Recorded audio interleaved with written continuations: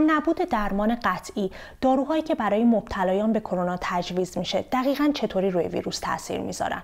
کدوم داروها در مرحله آزمایشی عوارض جانبی شدیدی نشون دادن و نباید تجویز بشن؟ اینا دو نمونه از سوالهایی که شما با هشتگ از ما بپرس به تلگرام سی ات سی شما فرستادید تا جوابش مستقیم از متخصص برنامه بگیرید. من نازنین معتمدی هستم تهیه کننده برنامه 37 درجه و امروز از قرنطینه تمام سوالات شما رو در مورد داروها و شیوه های تاثیرشون از دکتر فرین کمانگر متخصص همگیر شناسی دانشگاه ایالتی مورگان آمریکا می‌پرسم.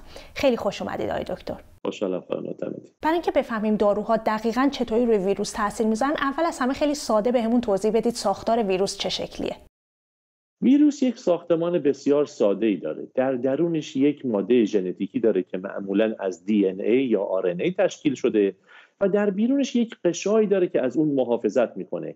اون غشا معمولا پروتئین هستش یا ترکیبی از پروتئین و چربی هستش.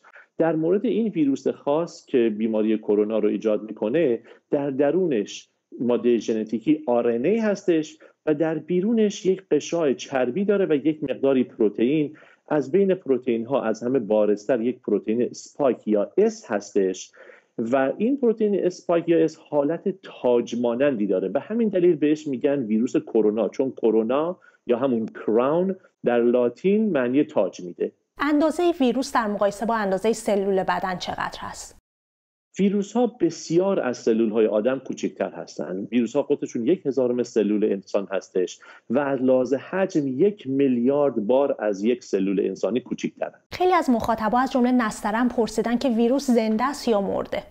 ویروس بستگی داره. در خارج سلول انسان در دستگاه های کافی نداره برای اینکه تکثیر بکنه و تولید مثل بکنه. بنابراین در خارج از سلول انسان ویروس مرده است. اما در داخل سلول می‌تونه که در واقع اون دستگاه ماشین سلول رو به خدمت خودش بگیره و تولید مثل می‌کنه و بنابراین در داخل سلول زنده است. این مثل اینی که شما اگه از من بپرسید آیا انسان می‌تونه پرواز کنه؟ در خارج هواپیما خیر. اما در داخل هواپیما می‌تونه اون ماشین رو در, در اختیار خودش بگیره و پرواز کنه. سلول ویروس هم به همین ترتیب. در داخل سلول سلول ما رو در خدمت خودش می‌گیره و زنده چطوری این ویروس وارد سلول میشه؟ ویروس معمولا به یک گیرنده در سطح سلول انسان میچسبه مثل یک کلید و قفل جفت میشه و وارد میشه. در سطح این کرونا یک پروتئینی به اسم پروتئین S یا spike هستش.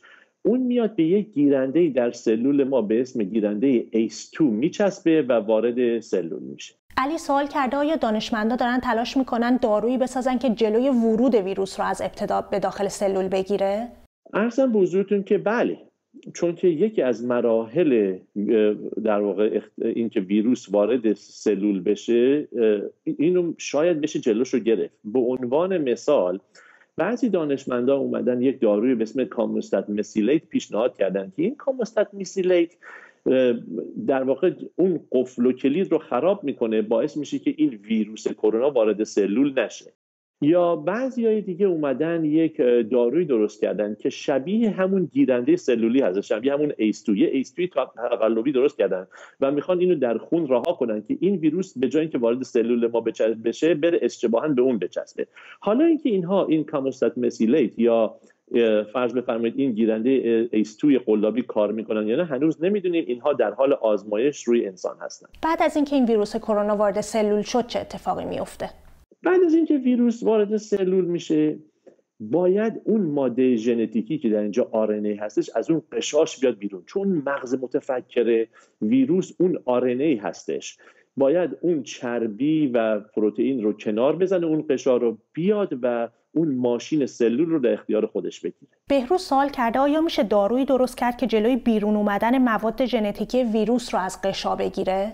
ارزم بزرگتون که بله بعضی داروها رو در همین قسمت دارن آزمایش می‌کنن. به عنوان مثال این دارویی که شما شاید خیلی اسمش رو شنیده باشید هیدروکسیکلوروکوین یا پلاکونیل داره سعی می‌کنه جلوی این رو بگیره که در واقع این ماده ژنتیک ویروس از قشا بیاد بیرون. حالا اینکه این کار می‌کنه یا نه باز هم با آزمایش های انسانی بستگی داره.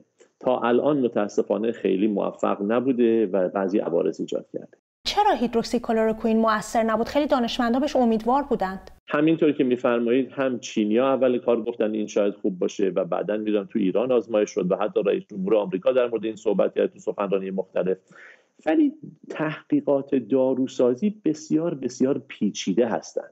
خیلی از داروهایی که در اول به نظر امیدوار کننده میان بعدا در داخل بدن انسان کار نمی‌کنن چون ما بعضی آنزیم ها داریم که ممکنه اونها رو مهار بکنن یا ممکنه که به اون جایی که از سلول که باید برسن نرسن.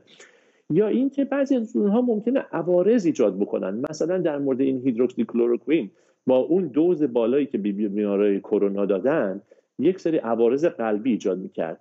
اینها تا نیان دقیق در بیمار آزمایش بشه تا چند صد مریض بهشون بعضی دارو رو بدیم و چند صد مریض دارو رو بهشون ندیم با قطعیت نمی‌تونیم اظهار نظر بکنیم. کار بسیار پیچیده و زمان است. خیلی ممنون دکتر کمانگر. شما هم سوالات خودتون رو با هشتگ از ما بپرس به پیامگیر تلگرام بی بی سی ات بی بی سی شما بفرستید.